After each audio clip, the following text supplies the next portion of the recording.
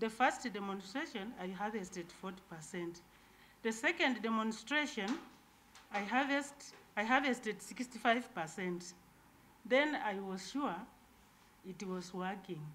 There have been other attempts to biologically control weeds. This is the first biological herbicide to control Striga in the world to be commercialized. A social enterprise based in Kakamega, that is a toothpick company limited, was incorporated in 2018 to undertake a successful commercialization of Kichawi kill herbicide with guidance from an NGO partner, WHH.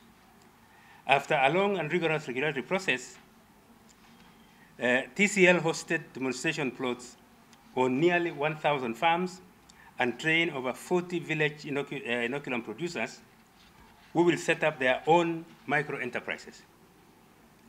As Kenya enters the long rain season, these producers are currently taking uh, Kichawi kill orders from farmers for the inaugural commercial uh, season. TCL will be using this season to work closely uh, with the inoculum producers to reach as many farmers as possible and to plan for expansion in future seasons.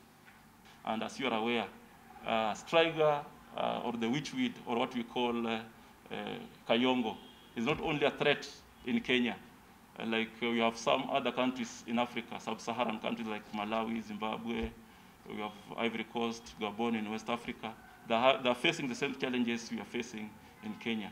So with Striga. So for us, this is a milestone, and we hope that Kenya, being having been a, a pilot uh, country for Kichawi kill, we hope to storm other countries with the Kichawi kill and our technology.